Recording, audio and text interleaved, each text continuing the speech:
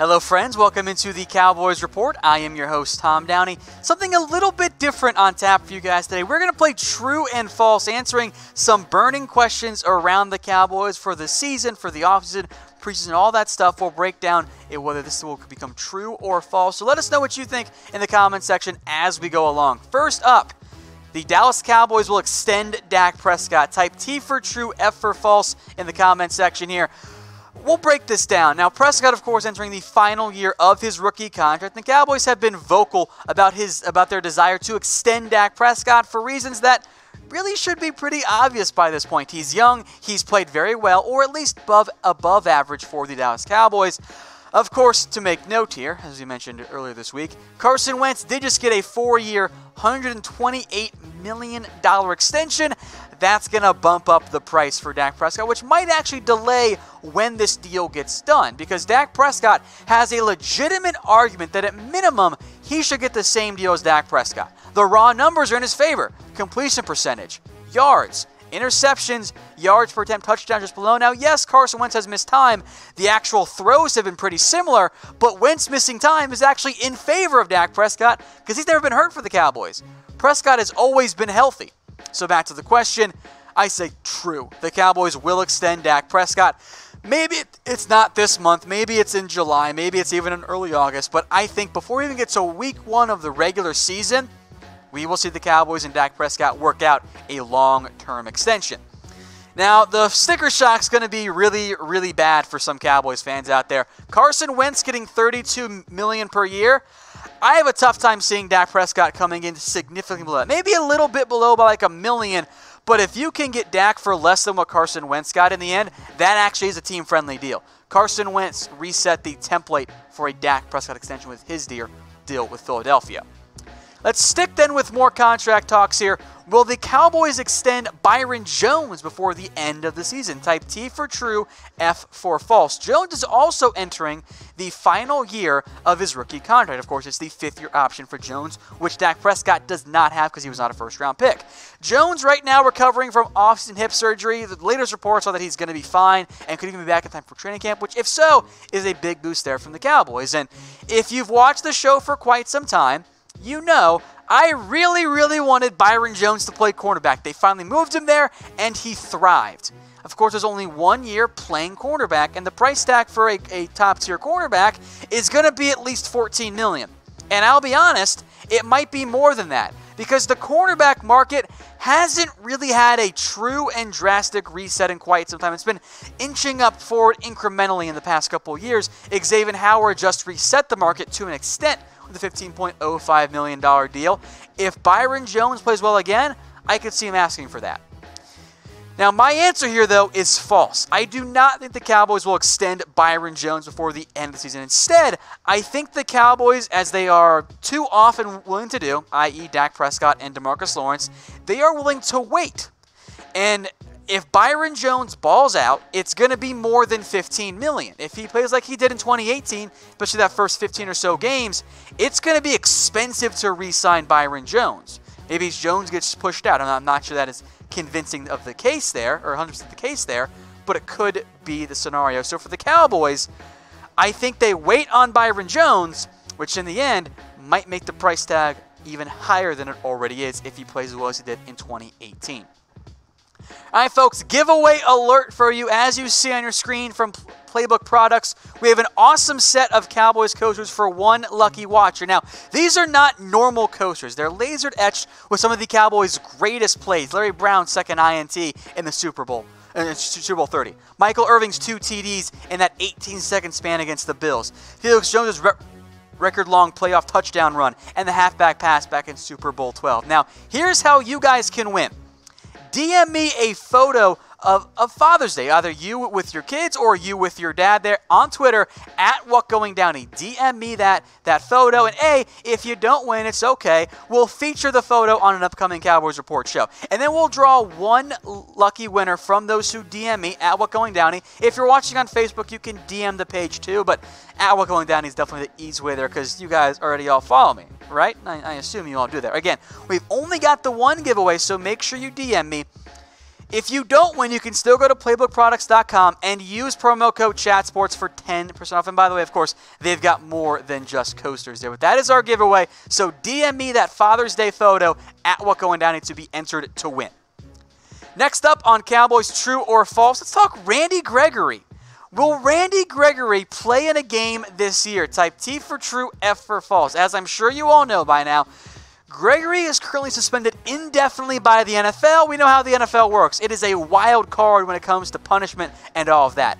Now, he is doing well right now away from the team, and the Cowboys are still hopeful that he can make a return and make a big impact for them. Of course, they're smart they're not banking on a Gregory return. Instead, they invested in several different defensive ends this offseason. Of course, A, as you said, they paid Demarcus Lawrence. They traded for Quinn.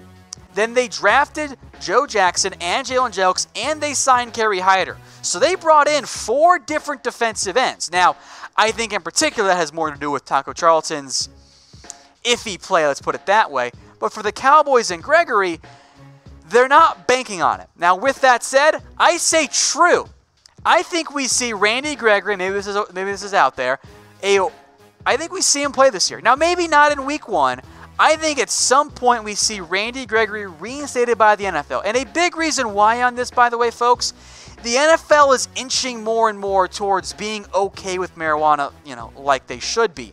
And if they want that poster child or that, that guy to prop and say, hey, see, we've done good things here, we're helping players out, I think Randy Gregory and Josh Gordon make the most sense. So I think true, we do see Randy Gregory play this year for the Cowboys. All right, folks, make sure you subscribe to us here on YouTube. That link is right there at the bottom of your screen, youtube.com slash Dallas Cowboys Report.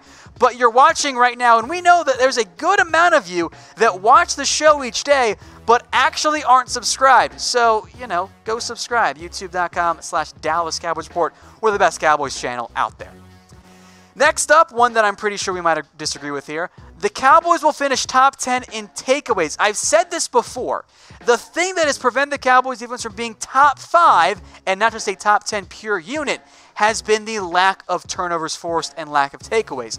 Here are the Cowboys' numbers over the past five years. They've ranked 20th, excuse me, 20 takeaways, tied for 16th, 21 takeaways, tied for 16th, 20 takeaways, tied for 19th, the uh, 11th ranking or 11 takeaways that they ranked in with uh, 32nd in 2015, and then back in 2014 they were actually second with 31. But the past four years for the Dallas Cowboys, they have not been a team that forces turnovers. They have been a bend but don't break defense. That has led to at least last year being a top 10 defensive unit, but they have not really approached hitting that top 10 number.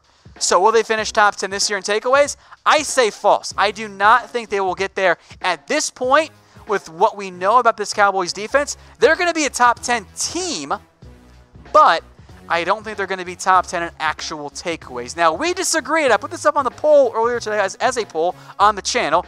Make sure you subscribe to go vote. 85% of you said yes. Uh, I'm, I'm not surprised that there was so many who thought the Cowboys would finish top 10 in takeaways. But I think TW1 summed it up very well. And this was the most liked comment, by the way, on the poll. They were great last year, which the Cowboys were, but he does not remember the last time they could ever take the ball away. It was back in 2014. Top 10 in yards and scoring, yes, not takeaways. I completely agree. This will be a top 10 defense in yards allowed and, and, and points allowed but they will not be top 10 in actual takeaways. If they get to top 15, I'll be a little bit happier. All right, true or false next up. How about Jason Witten time? Well, he only played 25 snaps per game. Now, Witten is still the number one tight end for the Cowboys. Yes, he took a year off, but let's not kid ourselves here. Jason Witten did not leave ESPN to come back and play a handful of snaps each game. And the Cowboys are already hyping up Witten coming out of OTA, saying he's quicker and faster than he was last time he played back in 2017, which okay, best shape of life season. You know, that's the case going on there. Now, the Cowboys have said they want him around 25 snaps a game. That was the expectation. Here's the thing. Do we think Jason Witten is going to take a massive reduction in snap counts? Yes, there's Blake Jarwin and Dalton Schultz, and yes, those guys will, will get on the field. But when Witten played, he played. He barely came off the field. Now, I don't think that's going to be the case this year, but Witten's back, and until he really shows mass signs of decline or was just god awful on the field, I am going to assume that we see quite a bit of Witten. So I say false on this one. I think he plays way more than 25 snaps per game. Frankly, I'll put the over under more at 40. He, the Cowboys averaged over 70 snaps per game. Witten is not going to play a third of them only. He's going to play at least half of these snaps. So for the Cowboys, I think it's an easy over here on this one. False for me. He plays more than 25 snaps per game.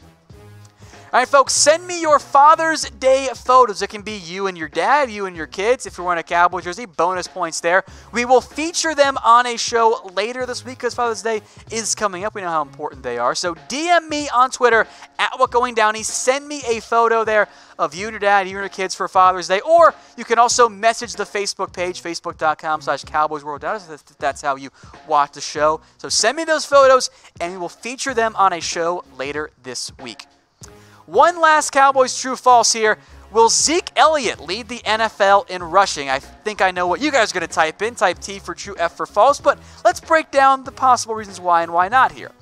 Now, Zeke has led the NFL in rushing two of the past three years, and he would have led in 2017 if he hadn't been hurt because he did, did, lead the NFL in rushing yards per game. I think that Elliott is once again po- poised for a big time season. He's going to get the ball. Yes, they will hopefully down his touches at least a little bit. But Elliott has been so good the past three years, the Cowboys are going to give him the ball. Now, he's passed 200 carries in two of the past three years. We've done it again in 2017. But maybe those numbers come back down a little bit. Maybe it's only, let's say, 280.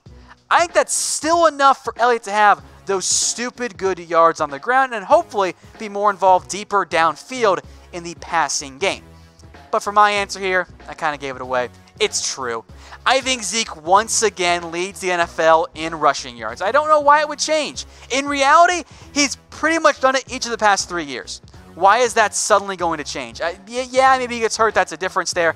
Elliott has the most yards of the past three years by a significant number. That will not change this year. I say true, let me know what you guys think in the comments section. Hey, Cowboys fans, thanks for watching the Cowboys Report. If you haven't already, click right here to subscribe to our channel for all the best Cowboys coverage on the internet. That's news, rumors, highlights, mailbags, film studies, and a whole lot more. And I'm making your lives a little bit easier as well with the next Cowboys Report video right here.